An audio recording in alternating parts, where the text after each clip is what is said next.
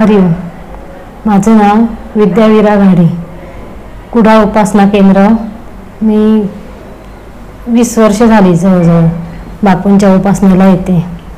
मला आलेला दोन हजार एकोणीसमधला अनुभव. तुम्ही एक गृहिणी आहे कन्या शाळेमध्ये पोषण आहाराचं काम करते मुलांना जेवण घालते तर तेरा ऑगस्टला एक अशी घटना घडली. मी माझ्या रोजच्या वेळेला गेली साडे अकरा वाजता. कामावर गेली तर माझ्याबरोबर दुसरी बाई आहे. तिने कुकर लावलेला होता. खूप वेळ झाला कुकरची शिटी होत नाही. मी तिला विचारलं अगं किती वेळ झाला कुकर लावल्या ना आताच लावला. आताच लावला म्हणे म्हणेपर्यंत कुकर पूर्ण जळला. जळला आणि कुकरचा स्फोट झाला मोठा. मोठा स्फोट झाला. शिजलेली डाळ होती ती पूर्ण किचनमध्ये उडली. पण मी तिथे गॅसच्या समोर उभी होती.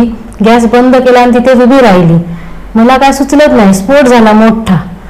दोन चार ठिकाणी असा आवाज मोठा झाला. लोक सगळी जमली कन्या शाळेमध्ये काय झालं काय झालं? बाई घाबरले. बाई म्हणे मला बाहेर पडायला काय सुचतच नव्हतं.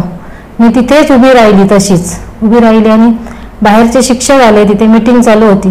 ते म्हणजे मॅडम तुम्ही बाहेर पडा बाहेर पडा. मग मी बाहेर पडली तिथून आणि मग मला ऑफिसमध्ये नेलं बाईने. तिथे पाणी वगैरे भरवलं.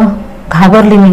पण एवढी गोष्ट म्हणजे काय? तर माझ्या नखाला सुद्धा किंवा माझ्या केसाला सुद्धा एवढी डाळ शिजलेली पडली नव्हती.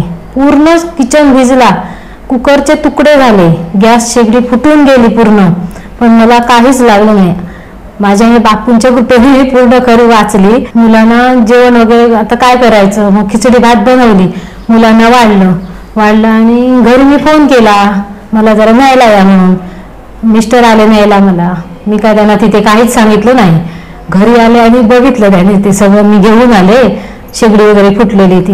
म्हणलं हे काय झालं? तू म्हटलं मला म्हणतात अगं बाई काय नशीब तुझं आणि आमचं म्हणून तू जगून आलीस. मी त्यांना म्हटलं माझे बापू होते मला वाचवलं माझ्या बापूने. असं मी त्यांना सांगितलं. एवढा माझा अनुभव. हरिओम श्रीराम